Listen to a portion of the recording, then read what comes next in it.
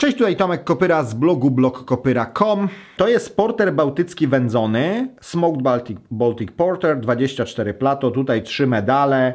Słuchajcie, to jest niesamowita sytuacja, że w tym zestawie były dwa krafty roku. To jest po prostu jak w amerykańskich filmach. Spróbujmy. Jest takie ogniskowy dym, bardziej neutralny. Ja tutaj czuję wyraźne nuty waniliowe, takie sutlenienia, bardzo przyjemne, bardzo gładkie. Zero alkoholu, czekoladowe. Ta wędzoność jest tutaj naprawdę bardzo stonowana. Tak czy owak jest to historia i jest to Kraft Roku 2015. To piwo zaskakujące. Myślę, że dla miłośników wędzonki mogą powiedzieć, aj, ale gdzie ten dym? Generalnie rzecz biorąc, to jest piwo genialnie ułożone, gładkie, z świetną wanilią. No i efekt jest niesamowity. Wasze zdrowie.